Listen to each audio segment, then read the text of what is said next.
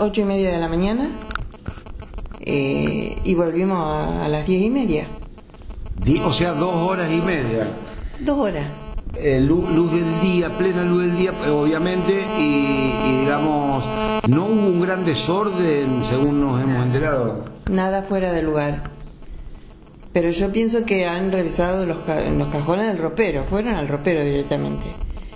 Hasta que encontraron la plata. Solo plata se Plata, llevaron. Sí, solo plata.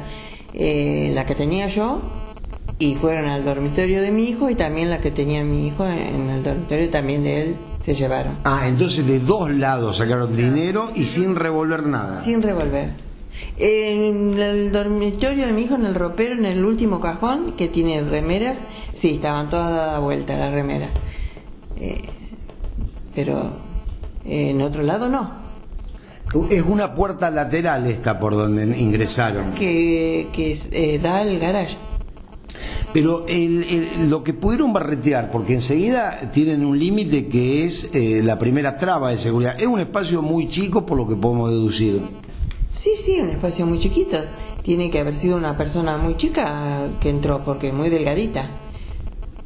Porque si no, de otro modo, no, no entiendo cómo puede haber entrado por, por ese espacio tan, tan chico, ¿no es cierto? No, no, no entiendo.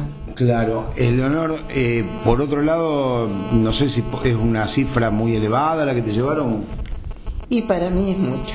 Eh, entre lo que me llevaron lo mío y de mi hijo, y más o menos 15, 16 mil pesos. Alrededor de 15 mil pesos, 16 mil. Sí. Eh, sí, un- una cifra importante. Eleonor, eh, en este barrio, eh, ¿vos sentís que haya muchos robos? ¿En tu caso mismo te habían robado alguna otra vez? Bueno, acá en la casa no, pero en el galpón, que tengo un galpón que mi hijo sabe hacer trabajo, le llevaron, sí, varias veces. Entraron eh, tres veces más o menos. Por, por unas ventanas que había hacia el norte del, del este, galpón hacia el norte había ventanas. Entonces rompían las ventanas y entraban.